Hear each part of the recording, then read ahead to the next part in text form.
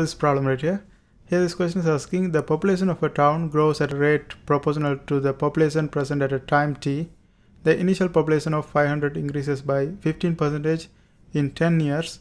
What will be the population in 30 years? How fast is the population growing at t is equal to 30?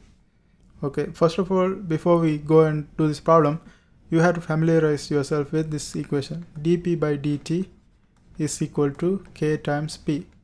Here this dp by dt is the population growth rate and this k is relative growth rate and p is the size of the population at a certain time okay? Now from this one we are going to derive an equation for this population to calculate population at any time okay? To do that you you have to first realize this is a separable differential equation so you can separate and integrate. So first we are going to bring p terms together so this is going to be what? 1 over p and then we bring this dt to the other side. So that's going to be just k I mean k dt k dt and we have here we have dp now we integrate both sides if we integrate this one and this one 1 over 1 over p dp is ln of p. Ln of p.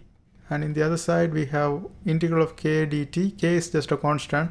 So this is going to be just k t plus a constant okay now we have to get rid of this ln because we want to derive an equation that that will be useful to calculate the population.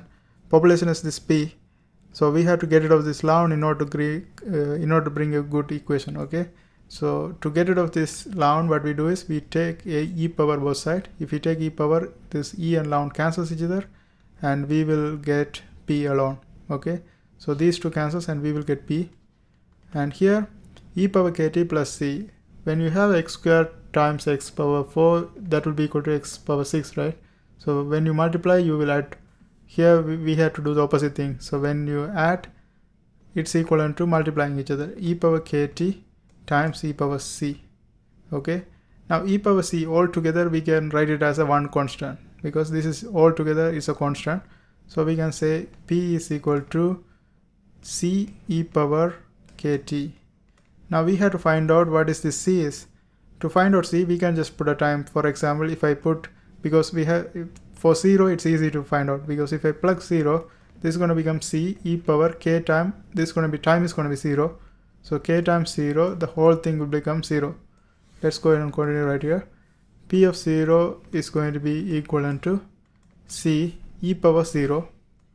e power 0 is just 1. So we will get P of 0 is equal to just C. So from this one we found out C is equal to P of 0. P of 0 is same as P naught. So instead of P of 0 we can write P naught. P naught mean initial.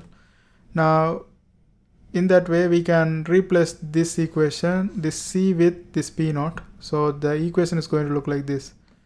P at a particular time is going to be P naught e power kt. So this is the equation we derived from that. Now let's see how we can use this equation to calculate the questions, like calculate whatever they ask for. Here the question is asking what will be the population in 30 years. Okay, now let's look at the information provided. We have the initial population of 500, that's P naught. We have P naught is equal to 500 and uh, increases by 15 percentage in 10 years. So when p of 10 it increases by 15 percentage. Okay so we don't have some of the values. We don't have this k value. So if we find out this k value we can derive a general equation because the question here is asking us to find out the 30 years but they have given information for 10 years increases by 15 percentage.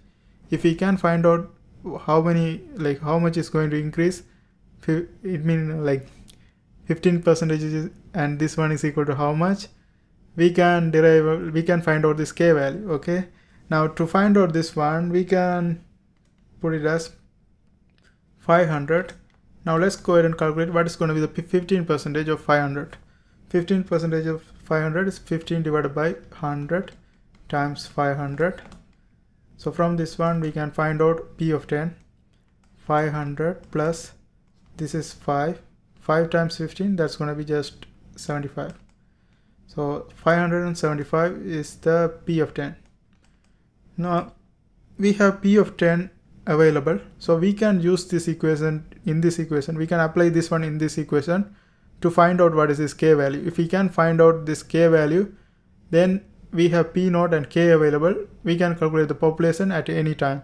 That's what we want because we want to calculate population at 30 years so if we can find out this k we can find at any time. So let's go ahead and do that. So we have p of 10 p of 10 and I'm going to apply that one in this equation. P of 10 is equal to p naught that is 500 times e power k times t is 10 okay? And p of 10 we found out that's 575 575 that's equal to 500 e power 10k now e power the e power 10k is going to be 575 divided by 500 therefore e power now we can find out 10k by taking log both side. So if I take on this side and this side log and e cancels each other we will get 10k is equal to log of 575 divided by 500 and if you divide you will get uh,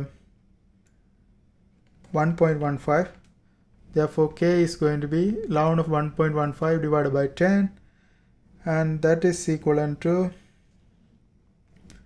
1.15 divided by 10 okay let's keep it as this value log of 1.15 divided by 10 or we can say 1 over 10 log of 1.15 so we have the k value right now.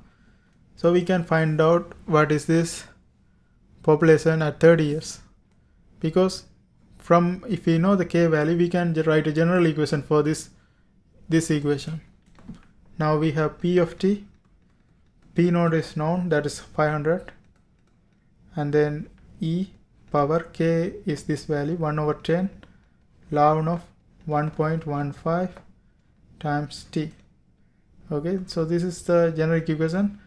No matter what time they give we can find it out here it's 30 we just have to plug 30 for this t and calculate that's it. So this is going to be p of 30 that's what we are trying to find. P of 30 that's equal to 500 multiplied by e power 1 over 10 log of 1.15 times 30 and if you calculate this one you are going to get 760.4375 so approximately we can say this is equal to 760 peoples so that's going to be the population in 30 years okay the next thing is how fast is the population growing at t is equal to 30. So when they ask for how fast, it's a rate. So population growing rate is dp by dt. Okay. Now we know the k. We found out the p. We just have to multiply these two to calculate the, the last question. Okay. Now let's get rid of these things.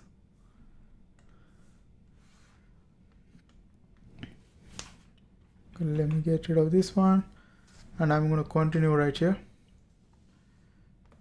dp by dt is what we are trying to find for the last one so dp by dt k is we calculated right here that's 1 over 10 log 1.15 times p is 760 when you multiply you will get 10.62 so approximately it's 11 so we can say the population growing approximately 11 persons per year. 11 persons per year. And that's how we do that. I hope this helps. Thanks for watching and if you are trying to learn differential equation there are a bunch of videos in my playlist. I hope you guys watch that too. And don't forget to subscribe. See you next time